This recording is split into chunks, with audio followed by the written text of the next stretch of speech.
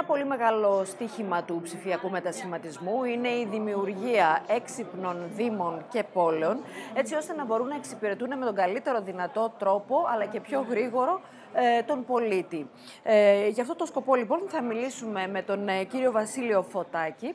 Είναι αντιδήμαρχος προγραμματισμού Αγρινίου και θα δούμε πάρα πολύ, ε, με πολύ λεπτομέρεια πώς ακριβώς έχουν καταφέρει και δημιουργήσει έναν έξυπνο Δήμο. Καλώς ήρθατε κύριε Αντιδήμαρχε. Καλώς σας βρήκα.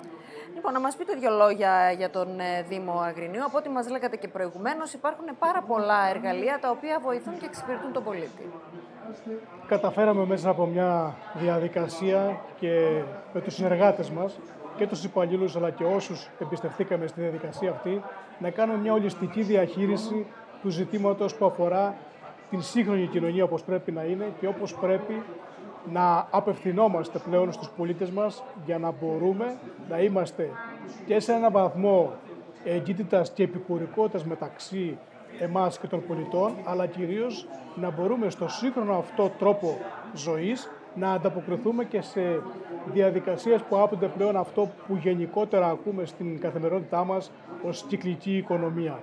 Μέσα στην όλη αυτή τη διαδικασία και τον μετασχηματισμό αυτόν στον οποίο προσβλέπουμε, ε, διάφορες εφαρμογές λάβαν ε, πραγματοποίηση μέχρι στιγμής και προφανώς είμαστε ακόμη σε μια διαδικασία που συνεχίζουμε αυτή μας την προσπάθεια εμείς στηριχθήκαμε σε τέσσερις πυλώνες για να μπορέσουμε να δώσουμε κατευθύνσεις πάνω σε αυτό το ζήτημα.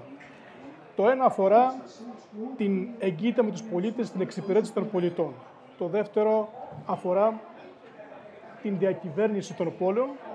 Το τρίτο έχει να κάνει με τις υποδομές που πρέπει να αναπτύξουμε και ένα τέταρτο με την καινοτομία της οικονομίας. Πάνω σε αυτούς τους τέσσερις πυλώνες στηρίχθηκε όλη μας προσπάθεια και η διαχειριστική ε, διοίκηση που γίνεται από όλους εμάς για να μπορέσουμε να ανταποδώσουμε στους πολίτες διάφορες υπηρεσίες που έχουν να κάνουν με το εξής.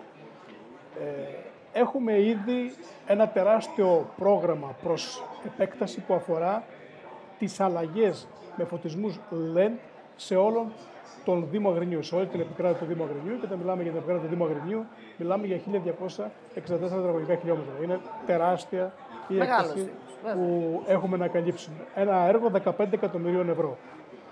Είμαστε, είναι το τελευταίο δηλαδή που εντάξαμε και προς εκτέλεση. Έχουμε κάνει ήδη ενεργειακές αναβαθμίσεις σε πάρα πολλά δημοτικά κτίρια και όχι μόνο δημοτικά κτίρια και σχολικές μονάδες. Ε, υπάρχει η εφαρμογή του GIS, τα γεωχωρικά δεδομένα, όπου εκεί ο πολίτης μπορεί να αναζητήσει πληροφορίες, κυρίως πολυδομικές, αλλά ακόμη και για ερευνητική εξερεύνηση. Υπάρχουν η εφαρμογή της διαχείρισης του στόλου οχημάτων, άρα εκεί μιλάμε για οικονομίες κλίμακας κυρίως, γνωρίζοντας πού βρίσκεται κάθε φορά ένα όχημα του Δήμου Αγρινίου. Είμαστε ακόμη και πρωτοπόροι θα μπορούσα να πω στην ε, διαδικασία και με την ελεγχόμενη στάθμευση, αλλά και από τους πρώτους δήμους που μπήκαμε με τα ηλεκτρικά ποδήλατα ε, και περισσότερο στην ε, κουλτούρα, στην εκμάθηση των πολιτών, να φύγουμε από τα συμβατά μέσα, να μπορέσει ο πολίτης και δημιουργούμε και μέσα από αυτή τη διαδικασία και ποδηλατόδρομους και χώρους ελεύθερης πρόσβασης για τους συμπολίτες μας.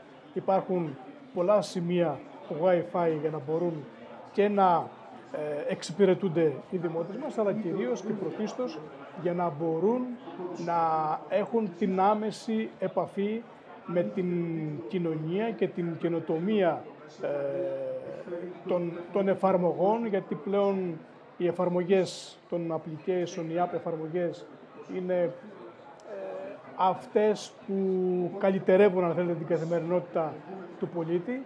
Μία από αυτές τις εφαρμογές που εμείς προσπαθήσαμε να δώσουμε έναν τόνο ε, της καθημερινότητας και αποφύγαμε έτσι και την πρόσβαση και ειδικά σε μια δύσκολη περίοδο που ήταν ε, την περίοδο του COVID είχε να κάνει με την εφαρμογή της η οικονομική ταυτότητα του Δημότη.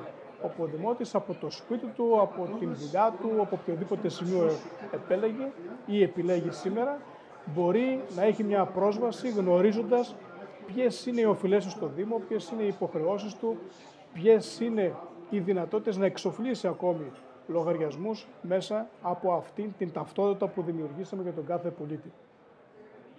Είμαστε ε, ευχαριστημένοι με αυτό το σημείο αυτό γιατί τρέξαμε και καλύψαμε ένα τεράστιο ε, όσο αφορά το περιθώριο που υπήρχε, ένα τεράστιο χώρο. Ο Δήμαρχος, ο κ. Παπαναστασίου, ε, πλέον και με την θέση του ως ε, αντιπρόεδρος στην ΚΕΔΕ, ε, από την αρχή η κατεύθυνση που είχε δώσει προσωπικά σε μένα και στην πλειονότητα των αντιδημάρχων ήταν να τρέξουμε και να κάνουμε το Δήμο ένα Δήμο βιώσιμο, ένα Δήμο ε, καινοτόμο, αυτό που λέμε Smart Cities. Το καταφέραμε, βραβευθήκαμε γι' αυτό ε, και πιστεύω ότι το αύριο, τουλάχιστον για το Δήμο Αγρινιού, να, να εκφράσω την, την δική μας την πεποίθηση, είναι ότι η αυτοδιοίκηση, γιατί μέσα από αυτή τη διαδικασία αυτό που μένει από εμάς που ασχολούμαστε με την αυτοδιοίκηση είναι αυτή η εγκύτητα που προανέφερα με τους πολίτες, να μας δίνει τη δυνατότητα να κοιτάμε τον πολίτη και να νιώθουμε την ευχαρίστηση ότι είμαστε και εμείς χρήσιμοι. Όχι μόνο οι εφαρμογές ή οι διαδικασίες που επιλέγουμε για, τον, για τους συμπολίτες μας, αλλά και οι συμπολίτες να αντιλαμβάνονται αυτόν τον σχεδιασμό αυτή την, ε, την στρατηγική ανάπτυξη για την επόμενη μέρα. Αυτά όλα πώς τα έχετε καταφέρει και τα αναπτύξατε; Είχατε συνεργασία με κάποιους φορείς, πανεπιστήμια, πώς είχε γίνει η έρευνα αλλά και ναι.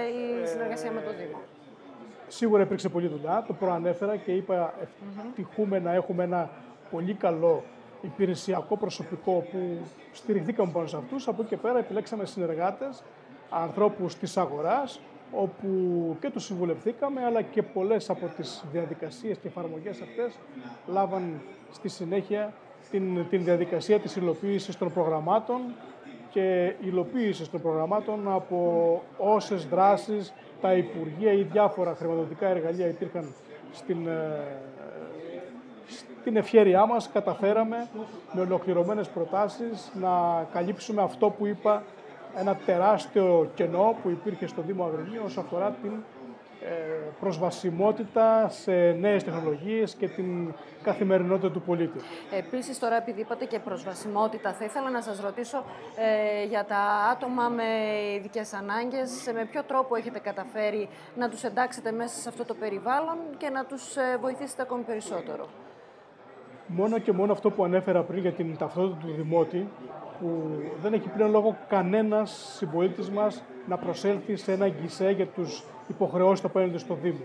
Αλλά και με την JS εφαρμογή αναζητώντας όλοι αυτοί οι συμπολίτες μας που ασχολούνται με πολυδομικά κυρίως θα πω εγώ ζητήματα, μηχανικοί, μηχανολόγοι και όλη αυτή η σειρά ε, των επαγγελματιών, ε, αντιλαμβάνεστε ότι υπάρχει μια οικονομία από το κυκλοφοριακό, τη ρήπανση, την μετακίνηση ε, που βοηθάει τους συμπολίτες μας. Οπότε η προσβασιμότητα και στα άτομα με ειδικές ανάγκες δεν τους ε, υποχρεώνει να βγουν από την καθημερινότητά τους ή από την βόλεψή τους σε εισαγωγικά, αν θέλετε να το αναφέρω.